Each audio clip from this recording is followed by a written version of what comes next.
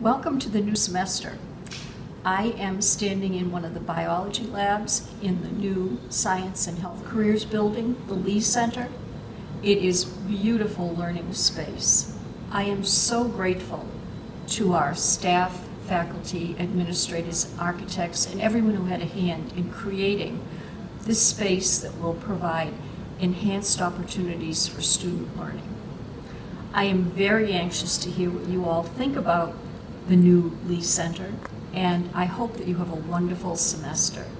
Just really impressed by the design of the building. It's really modern and sleek, everything's updated, and I'm really looking forward to continuing my classes in the new building. Hi, my name is Sean. I just got out of my first class here at the Lee Center.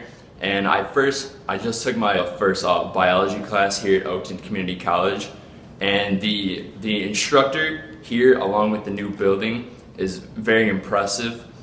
Uh, this is my first biology class that I've taken. And here in the brand new laboratories, we've got a whole bu bunch of new equipment that is really impressive. So I'm excited to be using it this semester here at Oakton. Well, I absolutely love the Lee Center. I think one of the most favorite things about the Lee Center is the fact that there is so much light everywhere. There are no dark colors, nothing like that. Everything gets brought in and there's no chance of ever falling asleep in a class.